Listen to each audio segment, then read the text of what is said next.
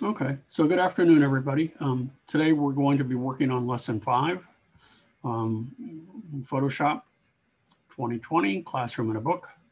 And uh, we'll be working with um, quick fixes in Photoshop. So um, the first one that we have is a before and after that is um, getting rid of red eye. And over the past iteration, several iter excuse me, iterations of Photoshop, um, they made several improvements to this tool. So again, they don't tell you to do this, but I think it's just good practice. I'm gonna go ahead and copy this layer so that I have work on a cop copy of it, not the original. And then I'm gonna zoom in here, see what I have. Yeah, there we go. You can see the red eye. It's created from a flash. So what I want to do is under the smart, um, this, I'm sorry, the spot healing brush tool at the very bottom is the red eye tool. Okay. And you'll notice that um, pupil size, 50%, these are the default settings. Darken amount, 25%.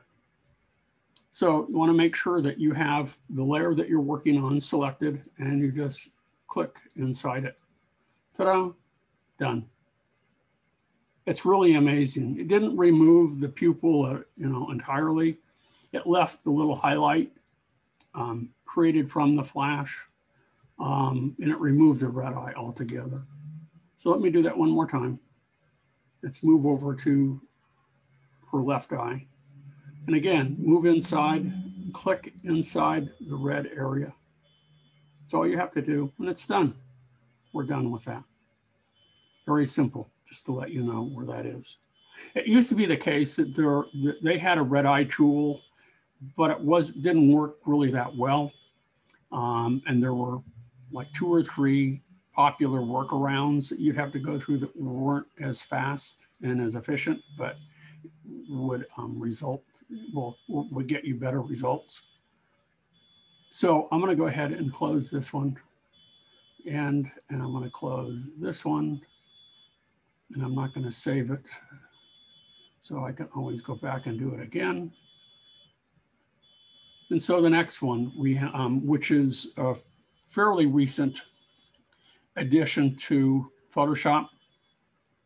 And it is the content aware fill. Um, it depending on you know what you're trying to remove um, and the surrounding area will determine you know the quality of the result. Um, so again, I'm going to go ahead and I'm going to copy the background. Command J.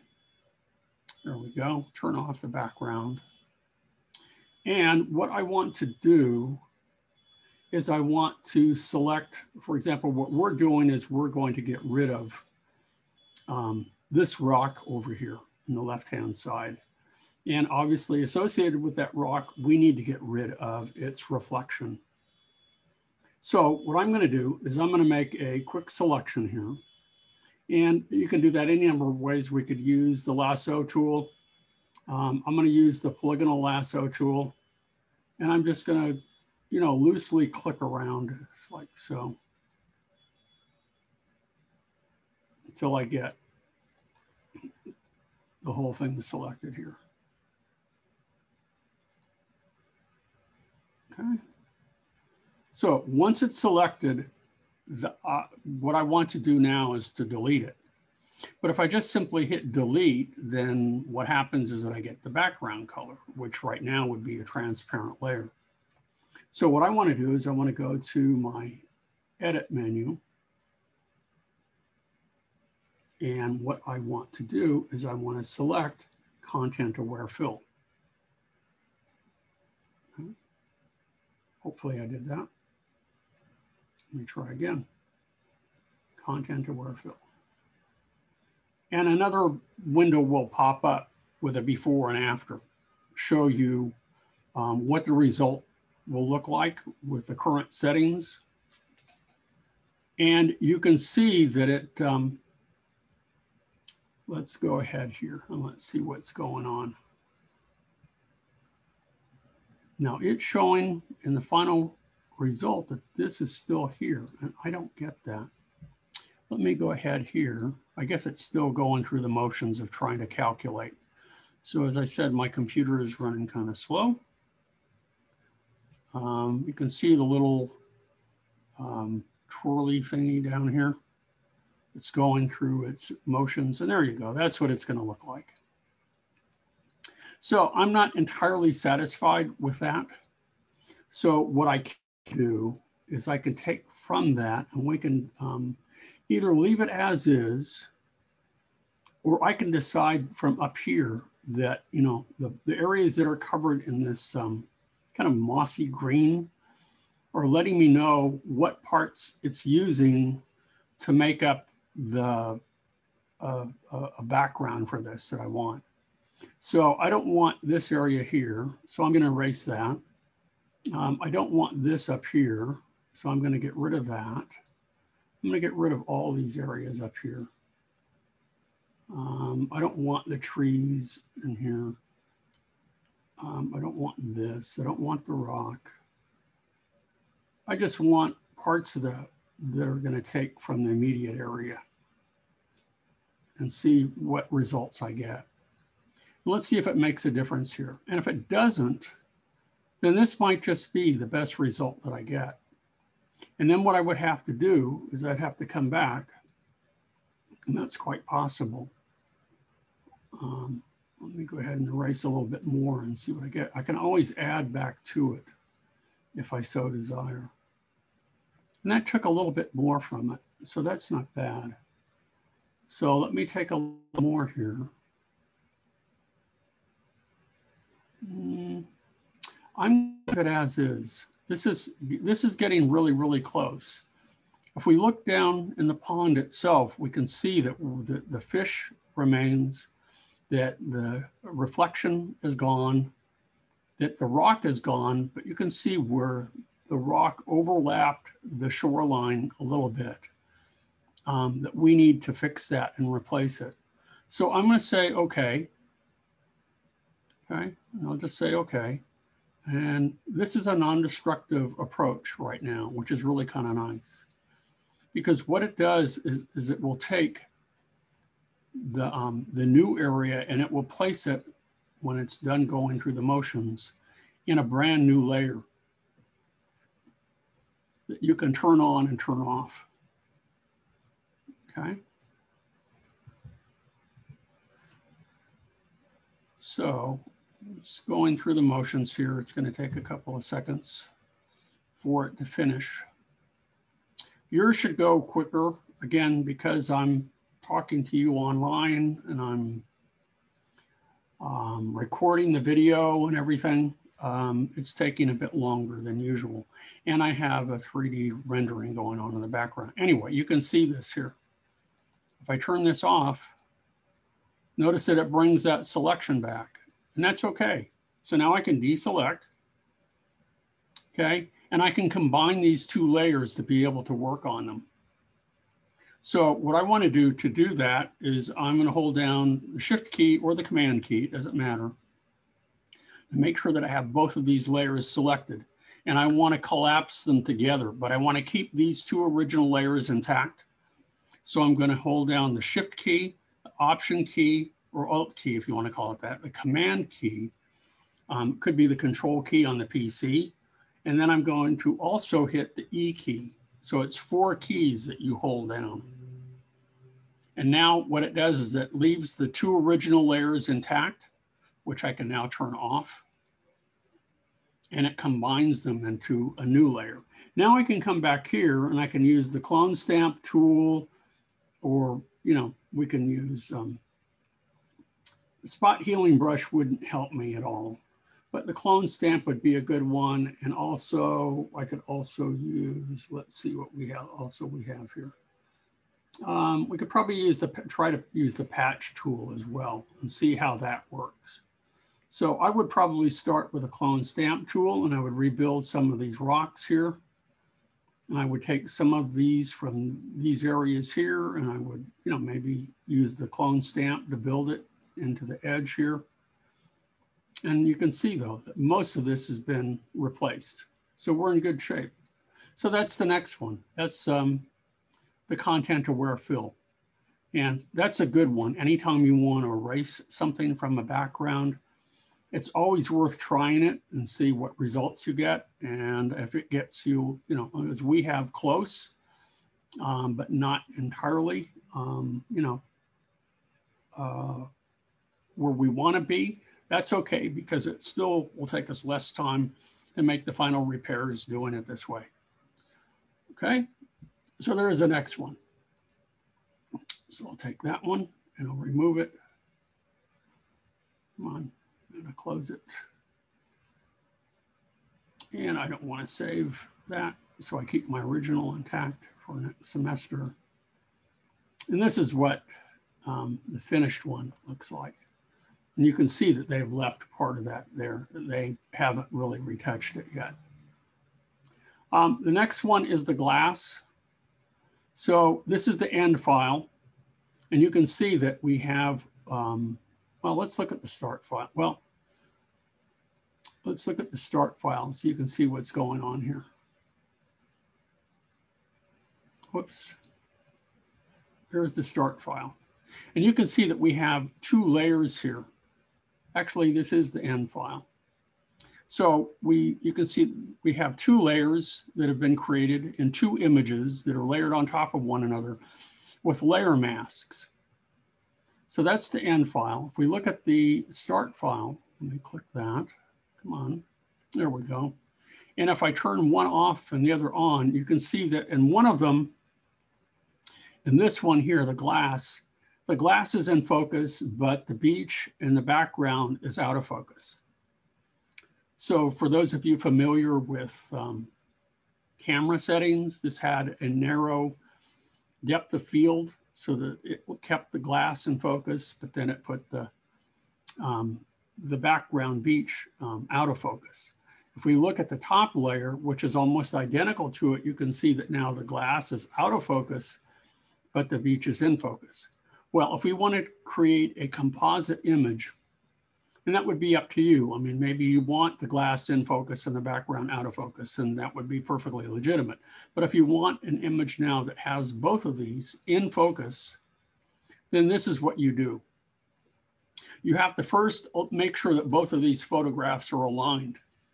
Um, if you were had your camera on a tripod, it would probably be pretty darn close, but you would still want to do the following and make sure that both of these are in perfect, perfect alignment because maybe the, you know, the tripod or your camera or something had shifted a little bit. Or if it were handheld, then it would be, you know, significant. So I'm gonna go ahead and select both of these layers. And with both of them selected, then I go up to the edit menu. And what I want to do is I want to auto align layers. Okay. So what that does is it reads the information on both of the layers I'm just going to leave auto settings. If I want, I can also remove vignette removal and geometric distortion. That would be okay. Um, you really don't need to do that for this. And it's going through the, the motions now and it's aligning those layers so that if you turn one off and the other on, and vice versa, um, they will be in perfect alignment with one another. So it's going to take a couple of minutes to do that. Normally this goes very quickly. So that should be the case for you with your computer.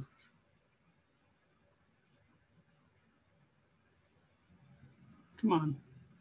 And then once that's done, then we're, we're going to use the next feature under the edit menu. And we're going to select auto blend.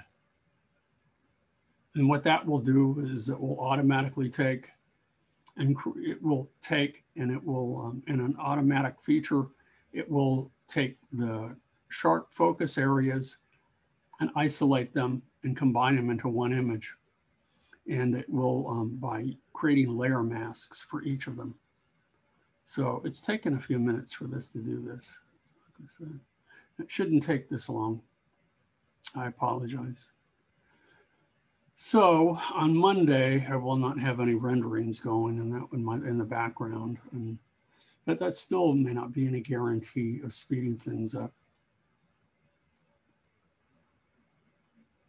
Um, come on, come on, come on.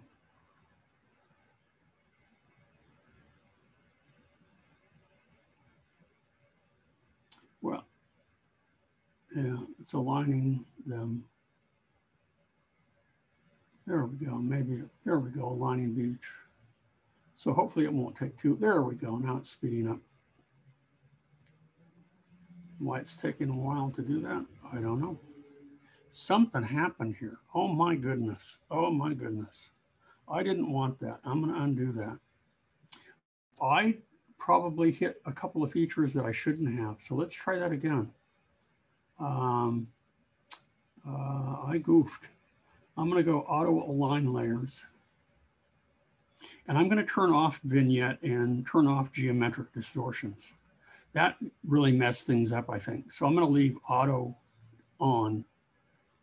I thought that wouldn't be a problem. There we go, much quicker. So we're getting better results.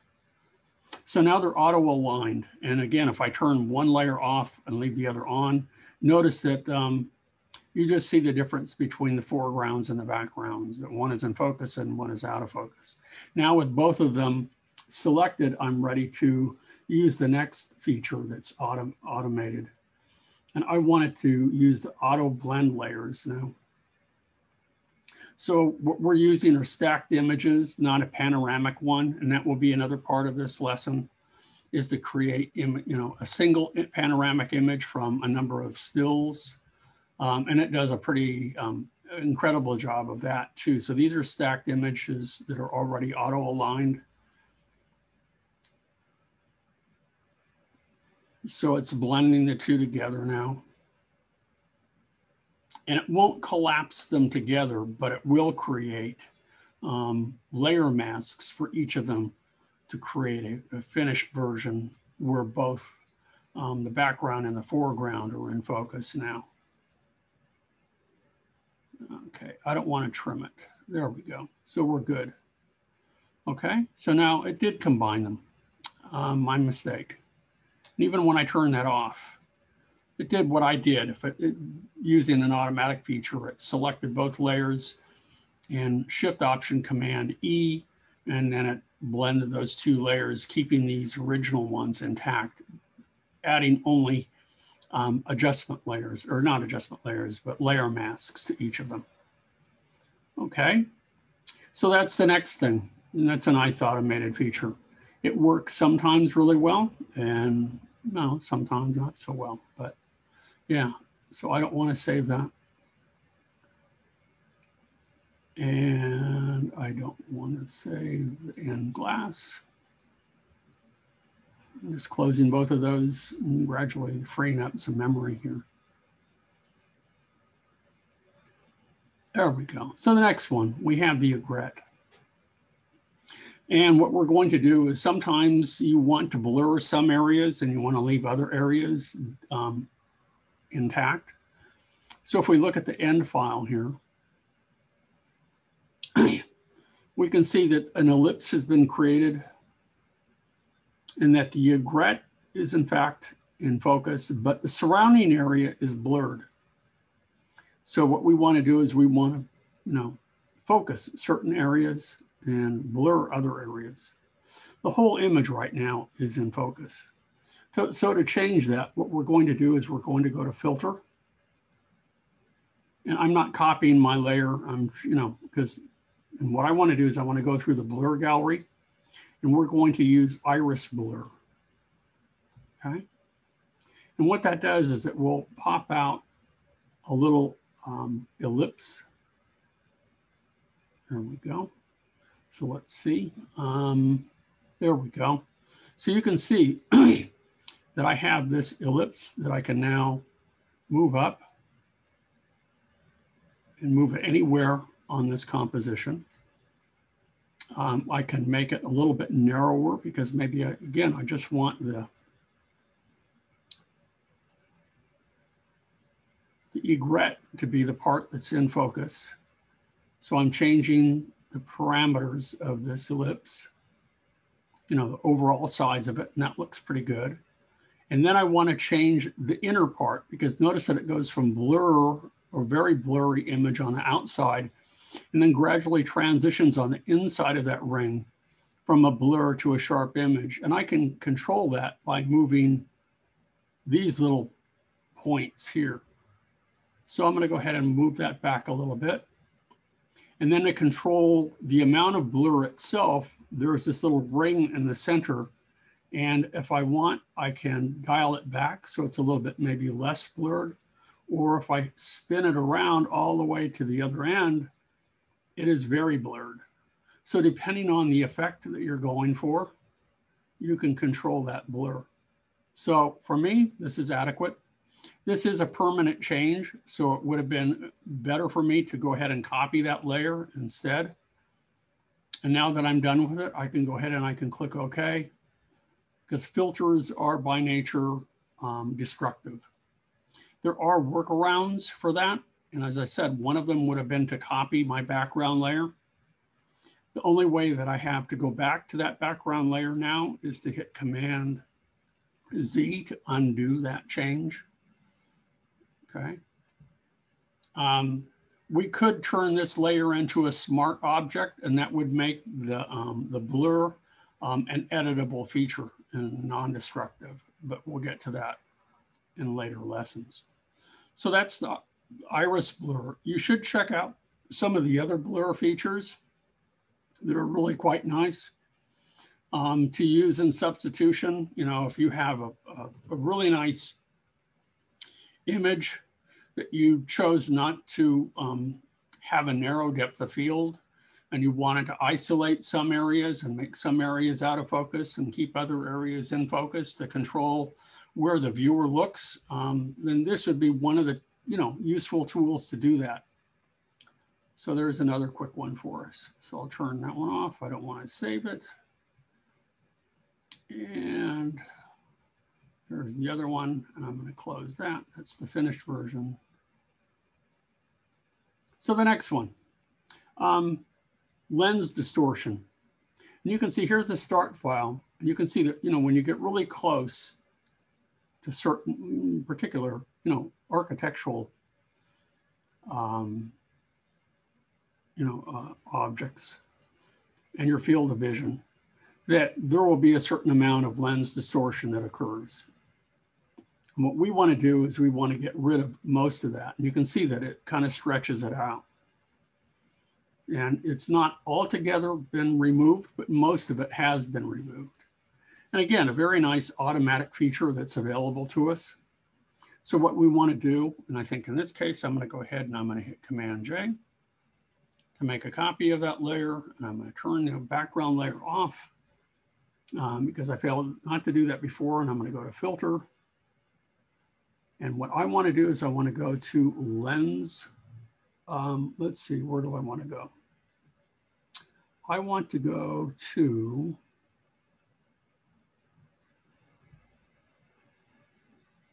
lens correction. I'm just going to go there. And a little dialog box should pop up, should take me to really kind of like an ancillary program. So I'm going to use auto scale image, make sure that that's turned on. Instead of auto correcting, I'm going to use custom. And now what I want to do using the very top slider here is I want to remove the distortion. And as I slide this to the right,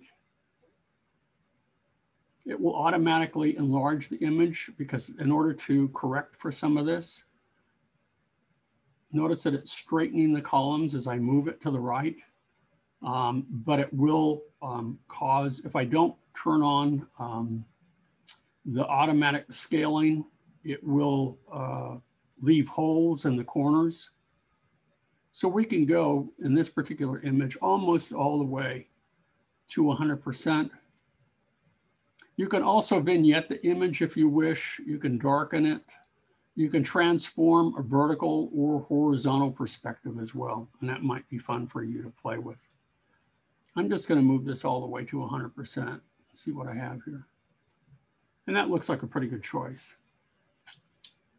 Okay. And you can see in the lower left-hand corner, it was updating my file. So that's it. That's all you have to do. Again, if you want to play with some of the other features, you know, here's vertical distortion, you know, that you can change. And I don't want to change this. It's kind of sluggish. My computer is really sluggish. Horizontal, which is kind of fun. You can see that it tilts it in different directions. So if you want to compensate for vertical or horizontal distortions, you can do that as well. Um, the one that I just used is probably the most common one um, with lens distortion. And when you're done and when you're happy with it, you just click OK. And that's it. But as I said, if I didn't, if I hadn't used, um, it's going through the motions now to finish the image. And you can see then when we turn on and off, But if I turn off the background and we go back and forth between the two, you can see that there's considerable lens distortion has been fixed. If you want to go for the distortion for some sort of aesthetic reason, leave it. If not, you have these, uh, these automated tools that allow you to fix some of it. Not all of it, but most of it. Okay, so that's the next one. Um, the next one is a perspective distort. And this is, um, I don't want to save that. So I'm closing my images here and leaving the train. So here's our start file. You can see that we're combining an image of a train with um, a nice um, background image with train tracks, but you can see that the perspective of the train doesn't match the, the tracks. So that's what we want to do is we want to correct for that. And we just can't simply rotate it. That doesn't work for us. So if we look at the finished version that they have for us, and we can see how that looks, you can see how the train now rests nicely on the tracks. Okay, and the perspective of the train matches the perspective of the railroad tracks. So that's what we want to do. We're going to go back to the original one. You can see that they have two images for us. We have the train on one layer, and you do need to have your um, the object that you want to affect on one layer and you want the background to be on a separate layer. So with the train layer selected, I'm going to go to edit.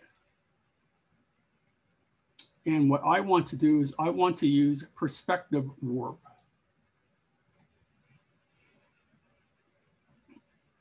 And we have, this is a two-step process.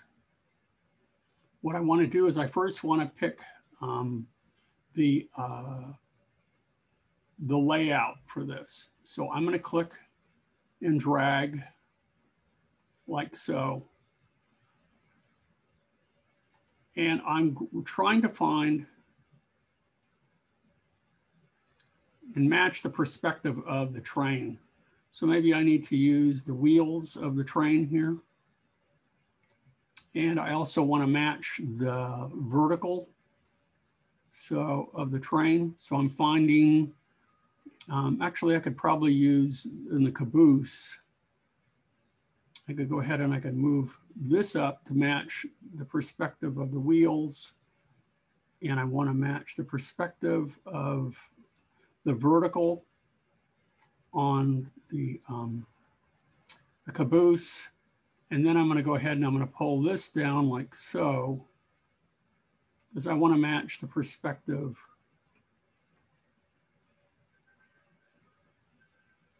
there we go, of the rest of the train here. And now when I'm ready to move this into position, and if I'm happy with it, now I select warp.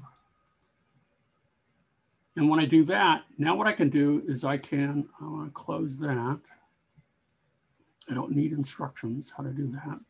I can now move this into position. And I'm going to move the back set of wheels so that they now, you can see it's still, it's really warping it quite a bit. But I want to get the back wheels to match the train. And now I can move the back of this to fit like so. And I can move the front wheels of the, the train up a little bit so that they match like so. And I can move this down. So it's allowing me to warp this and to get it to, you know, to fine tune this and to fit it so that it fits the, and we get both photographs to match one another now. And again, I think I'm pretty close. That up just a little bit. I'm having a hard time seeing today too.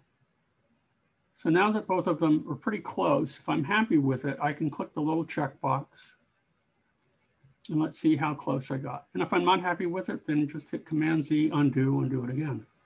And that's a pretty close match for right now. You can see that the train wheels now fit on the track and we still have, we have a matching perspective. So that works pretty nicely. Okay. So there's one more feature that we want to cover now. And that will be it for today. Okay. And that is to create a panoramic view. So I'm going to close both of these. I don't want them anymore. So that was the perspective warp. So I don't want to save that. And that was a two-step process. And you need to make sure that whatever you want to warp is on a separate layer. So we'll close this one. So what I want to do now is I have a collection of photographs that are available for you in lesson five in a separate folder. So what I want to do is I want to go to File. Oh, come on.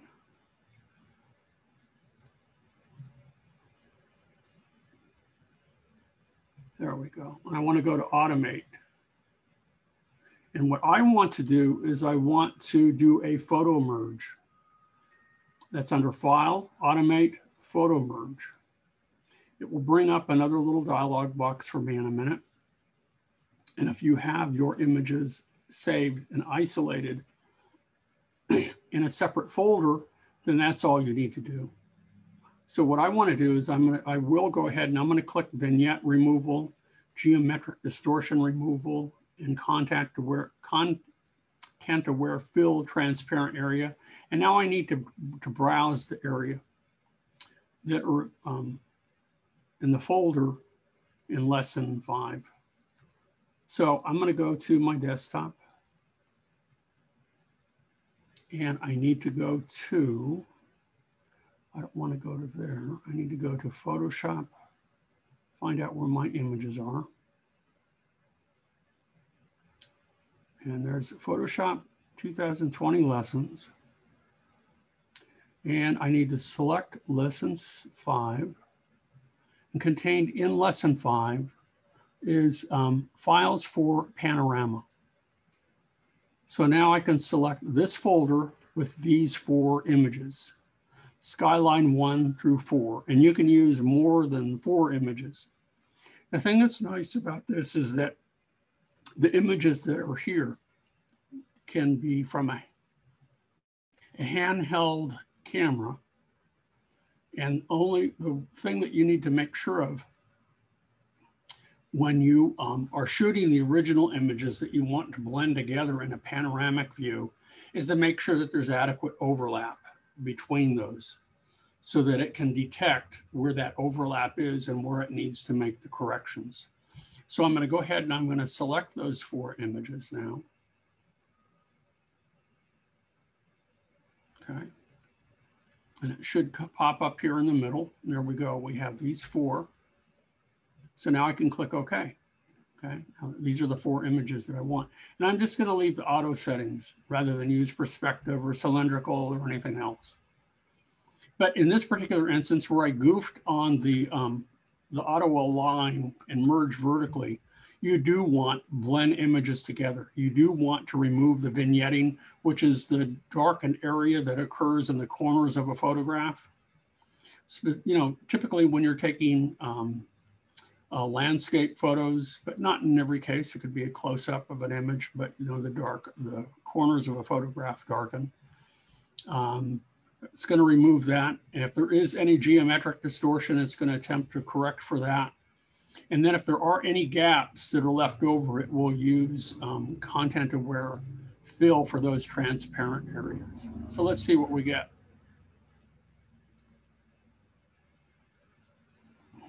Take a minute. It's going to go through the motions and does its magic. And lo and behold, in a few minutes, we're going to have um, a nicely stitched together um, image. And you'll see that it, it, it ends with a composite layer, but beneath that are the four images that we selected with um, layer masks showing where they have, you know, fixed that. So let's go back here. How wide? There we go. So it's going through the motions now. It's taken all of them.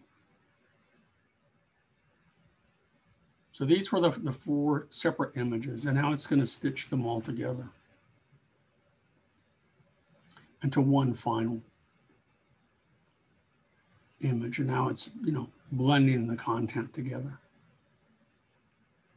It's pretty amazing how, how it all works. Now, most of you have, um, you know, if you have a smartphone, it has um, uh, this feature on the phone that allows you to create a panoramic view. Um, but this works equally well. Um, you can probably, in some cases, create a better image this way. And there you go. Now there's the, the empty areas that it's created you know, when in stitching them together. Now it's going to fill those areas with content aware fill. And it will do a pretty darn good job of that in just a couple of seconds here. There's only one more thing that we need to fix when we're done with this. And that is to crop it because you'll notice that the horizon is slightly tilted.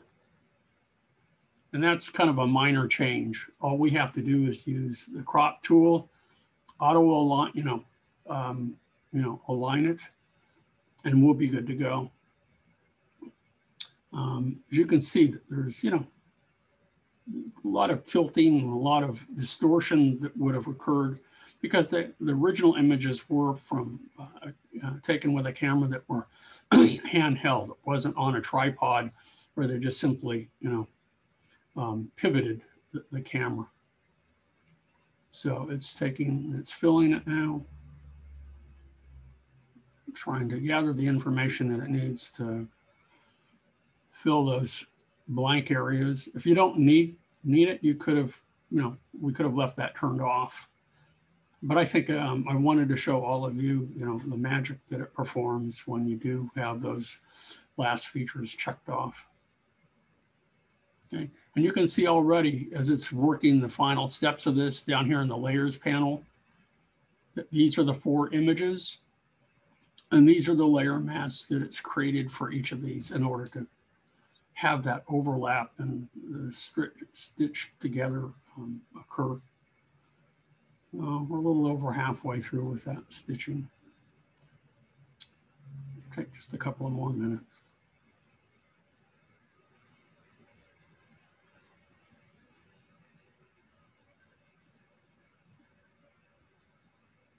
There you go pretty nice job. So we can deselect, okay, Command D to deselect that area. Whoops, I didn't want to save it just yet.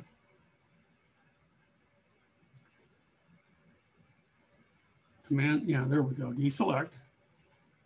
You can see here, it's not a perfect stitch job here, and there's not a perfect one here. So you might still have to use clone um, stamp tool to build some of those areas.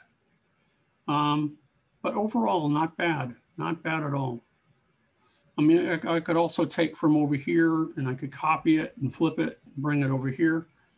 But it took those four images and, you know, uh, blended them together quite nicely. So as I said, you know, if we use the crop tool, And what I want to do is I don't want to crop it that way. But um, anyway, you get the idea. If we use, we want to straighten it, you know, and we can go ahead, let's straighten the image. If I click from here and I drag across to here, like so, that would allow me to crop it. And then I have this set for something else that I don't want to change. But that, you know, would be the last step that you would need to do. Okay, so I'm going to turn that off and leave it as is, but just the default settings here that were used. So that's it. Those are all the quick fixes covered in lesson five that shouldn't take you long at all. In fact, they should take you less time than when it took me today, since we are, um, what, using maybe 40 minutes or so of this. It should take you maybe a half an hour tops. As I said, because I have other things going on, because I'm recording this and, um, you know, I'm really taxing my computer right now. And so it's slowing everything down. So that's it. If there aren't any questions, um, we're good. Um, do you have any questions for me before I'm going to go ahead and um, pause the recording and see if you have questions about your your postcard assignment. Um, it will probably be due in about three weeks or so. And while we're, you know, you're working on that, we're going to continue to work on lessons. We'll probably take a little bit more time for the lessons than I've taken for these, but I've tried to work on a lesson a day to get you up to speed so that you can begin to work on some interesting projects. So let me go ahead and pause this. So I'm resuming recording. So here we go. Um, let me repeat just the last part of this. Um, again, you, Natalie, you wanted to know how to blur just, um, you know, part of an object. Well, I have my dog Bagel on, isolated on her own layer. I went to layer up here. And um, under the layer menu, I can get this to work. Come on.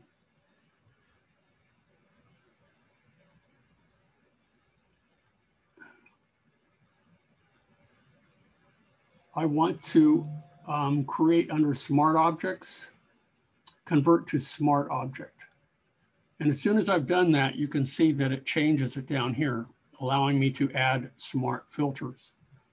And now what I did is that I went up to the filter layer and I applied um, Gaussian blur to it. I don't want to open any files. Um, my computer, because it's so sluggish, is doing weird things. So watch when I turn Gaussian blur back on, and it keeps it as a separate smart filter. So now when I go to filters, and I go to blur, Come on. Blur, Gaussian blur. It will, um, and apply it, it will be, you know, viewed here. Now I can go ahead and I can turn that back on. So I'll turn Gaussian blur back on and you can see that just Bagel has been blurred, but the rest of the scene is um, intact and you know nice, crisp, and in sharp focus. Okay, so let's see a new message here.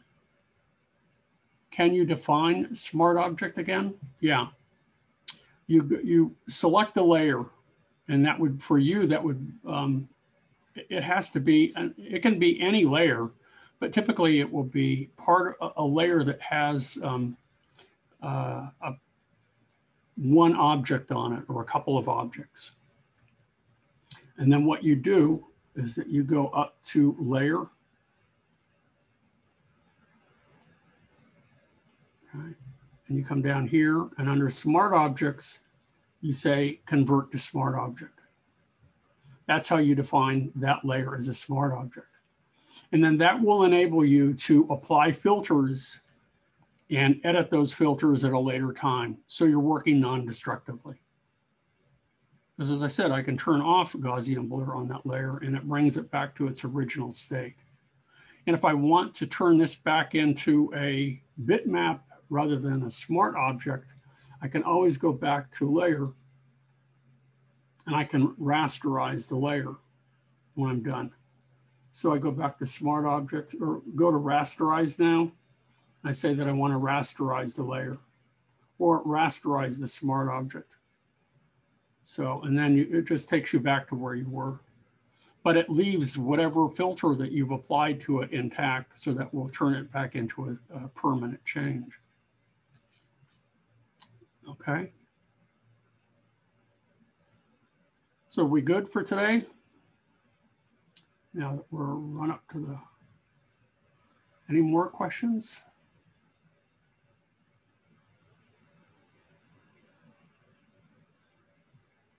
No?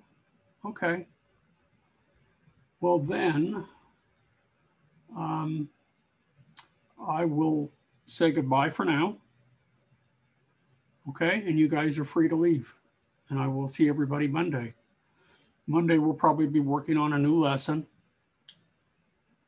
Um, and we'll, we'll get done with the lessons, you know, probably by midterm, maybe a little bit afterwards.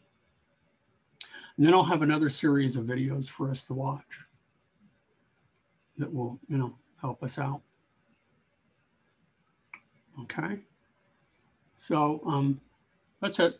I'm going to say goodbye and I'm going to pause my recording and it will be available soon.